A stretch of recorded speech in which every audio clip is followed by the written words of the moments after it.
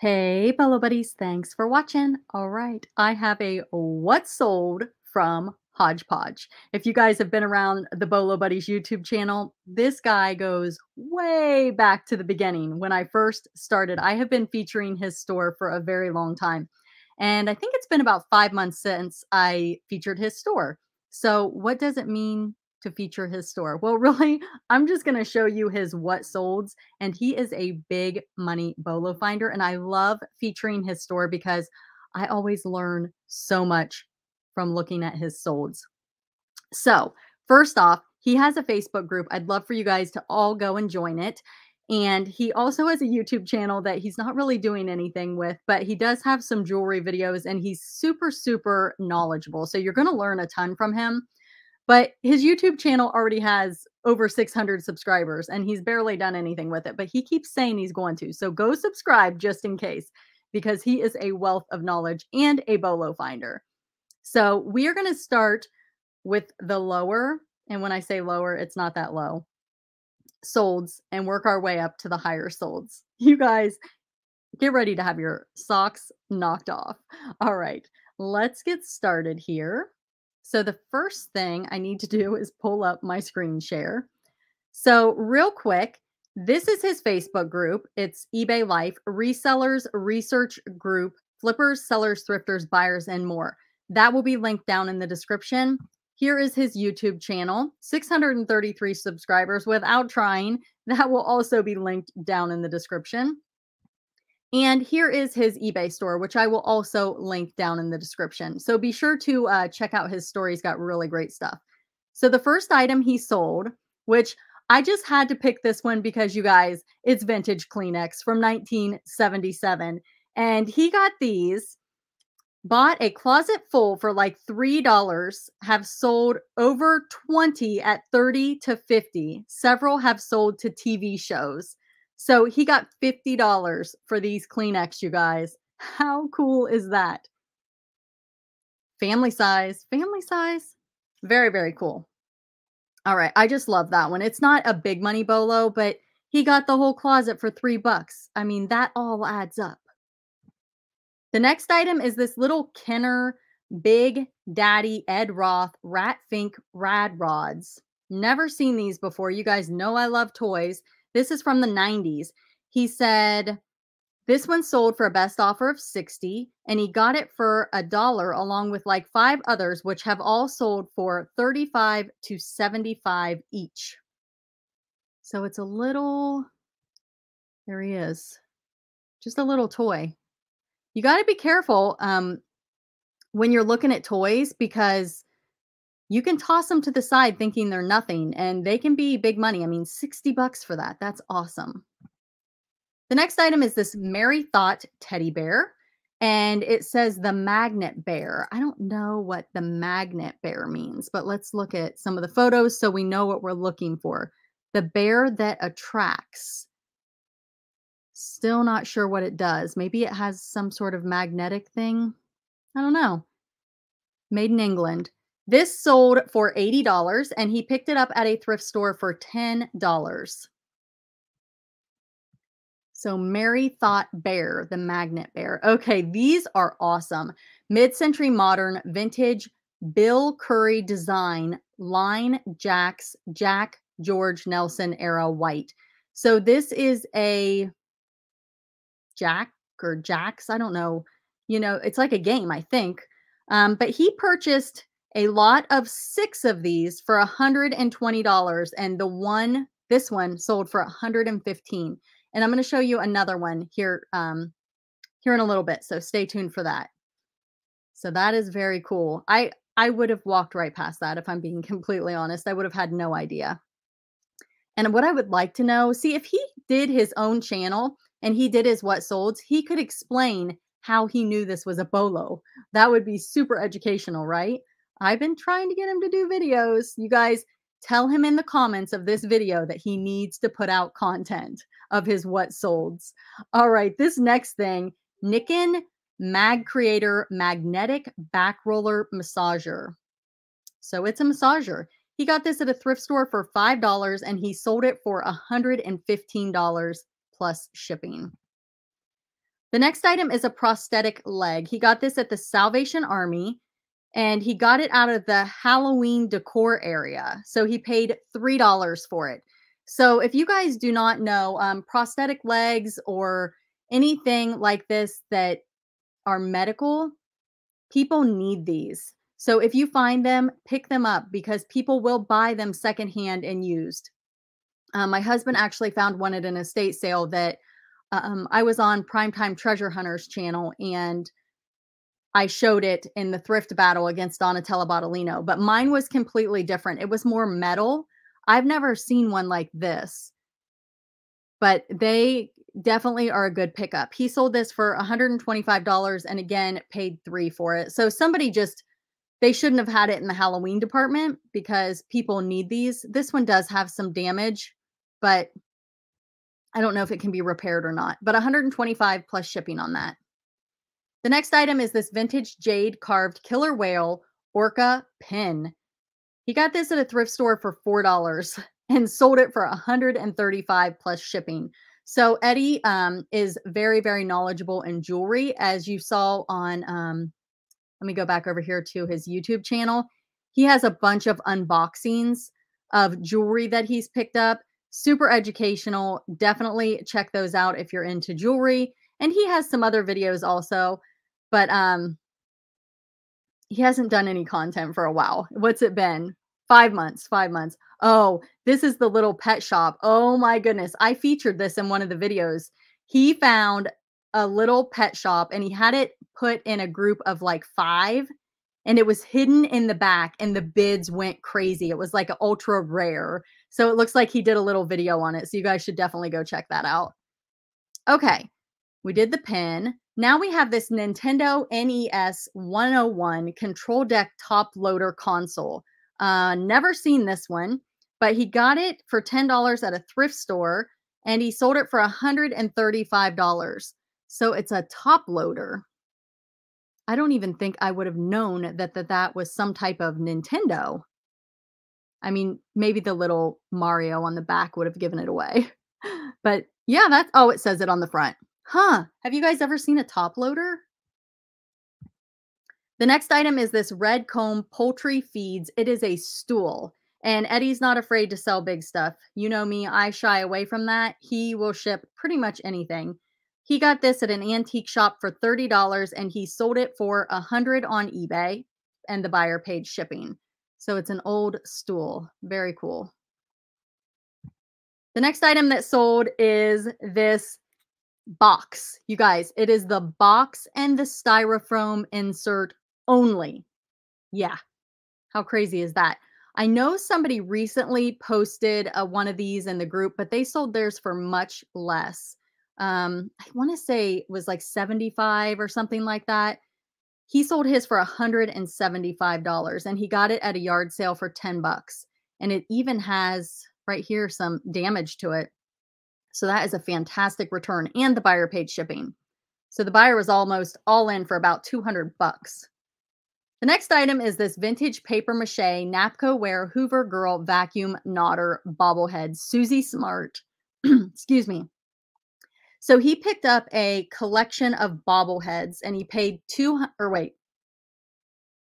Hold on, I think it's on one of my other papers. I've got a whole list of papers here. Um, I'm not sure what he paid for it. I think he bought a whole collection for one price, and I'm not sure if the collection was 250 or if he's telling me this sold for 250. So I think it's on the next one. So I will let you know when we get to the next bobblehead. But this sold for $250. And here she is holding her vacuum. And uh, bobblehead, a great word to put is nodder, also in the title. The next item that sold is this Bengals hat. He said he got it at the Goodwill for $1 and it sat for over a year. When they went to the Super Bowl, he sold it for $250. So sometimes if you're patient, timing is everything. So $250 plus shipping on that one. Cool old vintage Cincinnati Bengals hat. The next item, I could not find the notes on this one. Uh, maybe it'll be mixed in here, but Uh, it's a, I'm going to show it to you just because I have it pulled up. It's a modern blown glass copper bowl Anthony Stern England centerpiece. I don't know what he took a best offer for. He typically doesn't go too much under asking. Um, I would say maybe at the most 20%, but made in England there and it's signed. So anything that's etched into a piece, you know it's probably, you know, handmade and maybe look up that artist. The next item is this Fiesta Drip Cut SERP Cobalt, Cobalt Blue dispenser. He got this at a thrift store for $5 and he sold it for 275. That is fantastic. It's a SERP. It's for SERP. Come on, 275? That is crazy. I probably would have walked right past it. the next one are these educational Legos. He got these at the Goodwill for 15 and he took a best offer of 200. So these look pretty old, but he's got all he's showing all the manuals. Oh, teacher's manual um hold on, software and manuals. So it's some sort of software. Huh, never seen anything like that. Let me know in the comments if anyone's ever sold anything like that and was yours a bolo. The next item is this other bobblehead here. Okay, so it looks like he bought the whole collection for 250 and it doesn't say where. He just bought it. Uh, this guy says Boston and it sold for $310. It's Boston Boston Bruins hockey nodder bobblehead, paper mache again. So it's a bobblehead and it's paper mache and it's vintage. So definitely worth looking up. 310 plus shipping. The next item is this Lionel train. He um, actually, it's a Lionel standard gauge pre war cattle car. He got it at a yard sale and he paid $15 for it and he sold it for $315 plus shipping. Must have been one of those like uh, yard sale slash estate sales. I mean, you can't put yard sale in the title, right? Uh, a lot of people have yard sales that are actually for an estate. So it's probably what he meant. Bill Stroud, Burt Stark Mansion, South Carolina signed framed print. So here we go. It's got this, all this that goes with it, and took a best offer of $265 on this, and he paid 20 at a thrift store. He's really good at art and finding art pieces as well. Just super knowledgeable, well-rounded, like way um way more he's been doing it a lot longer so he's he's got he knows his stuff the next item is this rare 14 inch Perko ship steering wheel wood brass antique nautical maritime relic facebook marketplace he paid 60 bucks for it and it sold for 345 dollars it's just like he knew uh, he saw that on Facebook and he knew it was worth money, so he went and bought it. Like I would have saw that on Facebook and been like, "Oh wow, uh, a ship wheel." I would have had no clue. That's how we learn, right? That's why I do this. A state find wooden boat RC model as is incomplete handmade. He got it at a thrift store. Okay, you can't mix up a thrift store and estate sale. So it looks like Eddie uses a state find in his uh, titles. He may be a fibber. We won't, we'll just say fibber.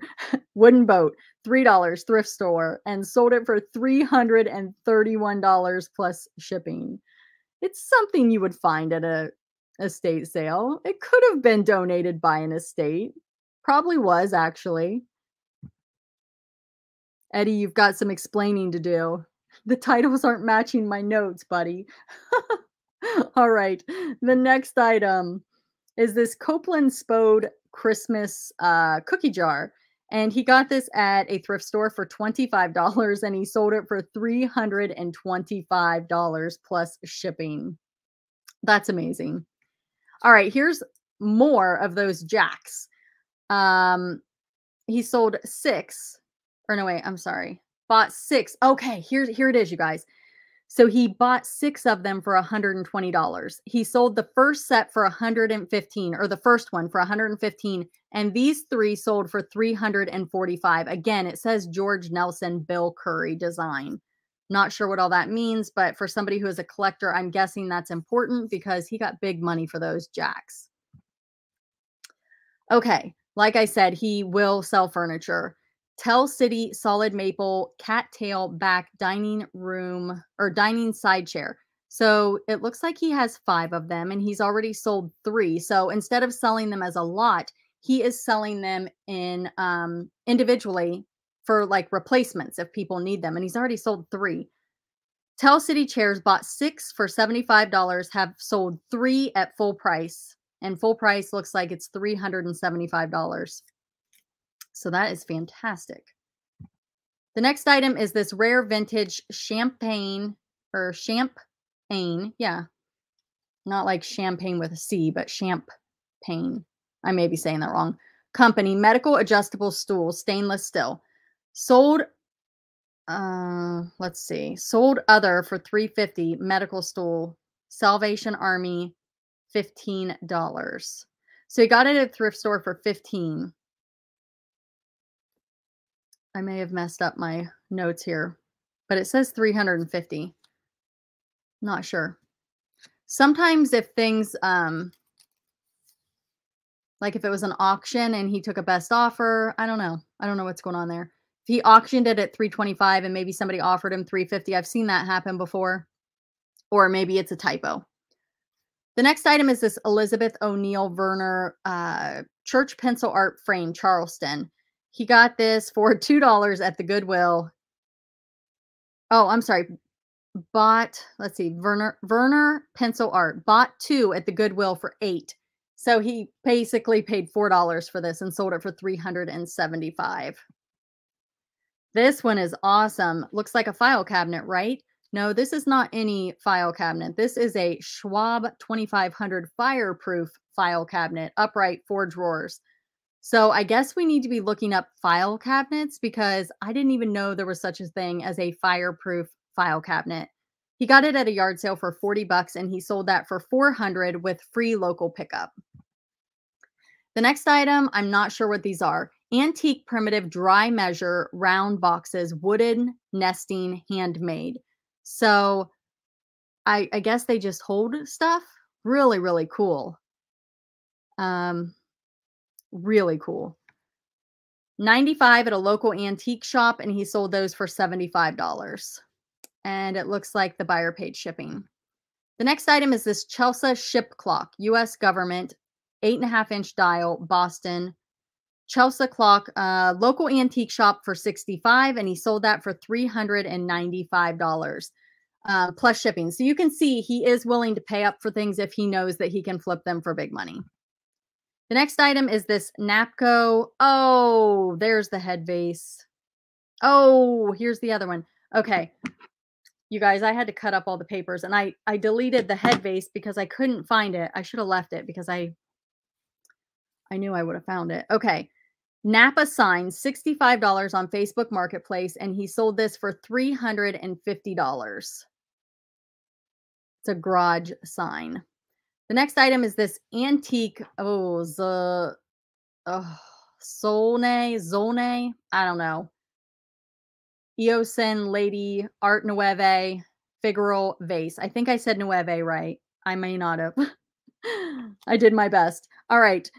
Got it for $10 at a yard sale and sold it for $425 best offer. Look at that, would ya? How fancy. Let's look at the bottom here. That's what it is on the bottom. Elwin even had the paperwork to make it easier to look up. That is awesome. Japan jacket sold for 250. So he took a best offer, half off, but it's because he got it free at a yard sale. So got it free at a yard sale and sold it for 250 best offer 250 this is reversible it's not in great condition which is probably why he went ahead and took the offer but wow, that's amazing. The next item is this antique lightning rod amethyst glass ball. Um, lightning rod bought an entire collection, 14 total for $850 on Facebook Marketplace. Have sold four so far for 500 plus each. Wow. Um, again, I would not have e I what is it? Like, what does it do? Does anybody know? Let me know in the comments. I could just message him and say, "What on earth is that thing?" Let's see if it tells down here. No. Probably the person buying this for $525, they probably know what it does, right? The next item is this accordion sold for $500, best offer was a global shipping program and it was damaged during shipment. eBay refunded them but didn't take it from me. Another reason why he uses global shipping program. So if the item gets damaged during shipment in transit, um, eBay covers it, is what he's saying here. Thrift store purchase 35 bucks. And it's an accordion, rare student size. The next item is another one of the bobbleheads. Blackhawks sold for $615, best offer. Okay, here it is. He bought 44 bobblehead collection for $250. I knew there were, it told me how many on one of my pieces of paper. Um, I cut them into little strips and I'm reading them.